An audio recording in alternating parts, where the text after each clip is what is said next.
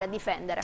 4 gol della Juventus nel posticipo, 4 gol del Napoli nel lunch match, l'anticipo di mezzogiorno, comunque l'anticipo di pranzo e allora tutto nel finale, un gran finale per i partenopei di Walter Mazzarri. Servizio.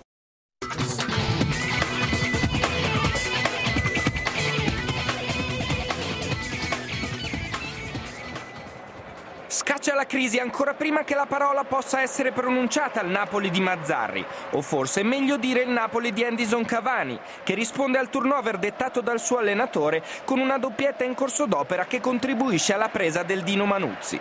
Seconda sconfitta consecutiva per il Cesena, che resiste per più di un'ora col vantaggio firmato da Parolo, salvo poi cadere sotto i colpi di un Napoli in formato deluxe. Ficcadenti si conferma a dir poco abitudinario e per la quinta giornata consecutiva schiera la stessa formazione.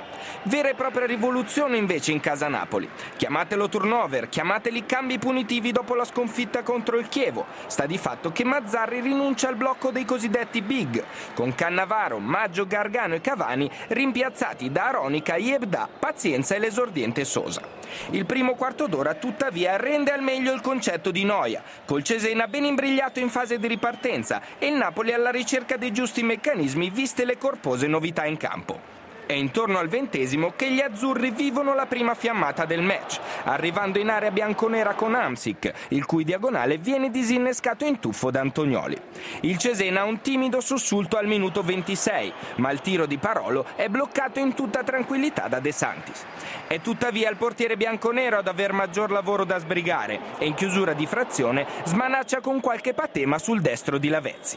L'inizio della ripresa fortunatamente dà ben altro senso alla giornata.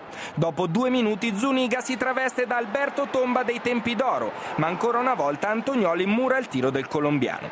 Sul ribaltamento di fronte Schelotto manda out il diagonale, ma è solo il preludio al gol, che arriva al minuto 3. Cribari fino a quel momento più che positivo si fa rubare in modo puerile un pallone da Schelotto, che serve al centro per Parolo, il cui tiro di punta passa proprio sotto le gambe di De Santis. Primo gol in Serie A per per il centrocampista classe 1985, che bagna la quinta presenza nella massima serie con la rete che vale il vantaggio per i suoi. Mazzarri si guadagna inoltre la via degli spogliatoi per le eccessive proteste sul presunto fallo ai danni del suo difensore.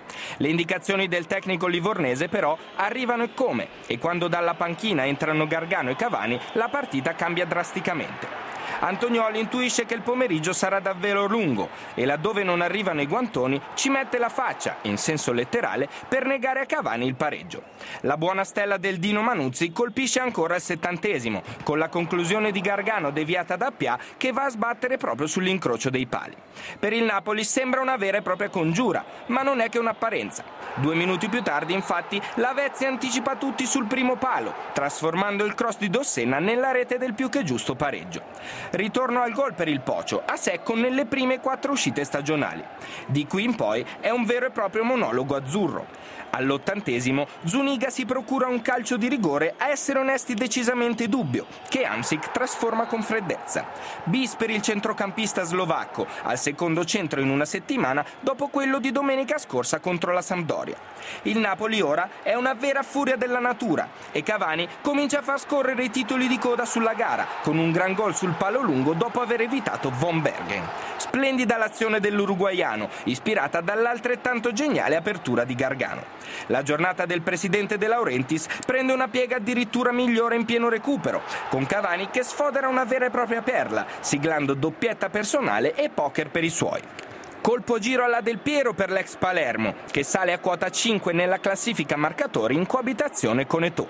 Per fortuna del Cesena il match finisce qui. Ficadenti avrà quindi una settimana per lavorare in tutta tranquillità sugli errori dei suoi. Mazzarri, che di tanta tranquillità invece non può godere, torna dalla trasferta in terra romagnola con tre punti e una certezza. Di questo Cavani il Napoli non può proprio fare a meno. Tu da palermitano è meglio che cambi canale in questo caso. A vedere Edinson Cavani, Massimo Taibi, gli viene quasi da piangere. Eh Peccato, un gran campione che è andato a Napoli. Però. Un gran campione che è andato a Napoli, benissimo. Tra poco gli approfondimenti dedicati naturalmente... Non era così determinante a Palermo. Però, non eh? era così determinante a Palermo, però no. Napoli 5 su 5. Infatti. È arrivata la cinquina. Tra poco tutti gli approfondimenti, il Napoli era GX, 4 gol importantissimi, un gran finale, però Valentina Ballarini, la notizia più brutta di giornata per Cesena, i tifosi romagnoli non è la sconfitta con il Napoli, purtroppo. No, perché hanno perso un grandissimo presidente, ovvero Edmeo Lugaresi, che è scomparso oggi intorno alle 19, all'età di 82 anni. Vi faccio vedere la home page, il sito del Cesena Calcio, che ricorda così con un addio mura di Edmeo Lugaresi, che è stato presidente del Cesena dal 1980 al 2002 e tuttora era presidente onorario. Lo ricorderete sicuramente. Io ho avuto il piacere di intervistarlo recentemente, il 17 maggio, ehm, in occasione dell'anniversario dei 70 anni del club bianconero non stava benissimo ma vi posso assicurare che non aveva perso la sua ironia, soprattutto non aveva perso la grande passione per Cesena e per il Cesena Calcio. Insomma è una grossa perdita, facciamo le condoglianze alla famiglia Lugaresi, in modo particolare al figlio Giorgio Lugaresi che poi insomma era stato erede anche alla guida del, del club bianconero. Ci dobbiamo fermare per la prima parte di Che Domenica su Sport Italia, continuate a votare su sportitalia.com, Valentina brevissimo proprio l'aggiornamento, eh, i nostri utenti, i nostri telespettatori cosa stanno votando, per chi stanno votando? Cinque gol selezionati, dovete scegliere tra Ibra, Vucinic, Cavani, Conè e Zarate, in questo momento è ancora in vantaggio Edinson Cavani, abbiamo scelto il secondo secondo gol, quello del 4-1, con oltre il 38% di preferenze. Poi seguono Zarate e Vucinic.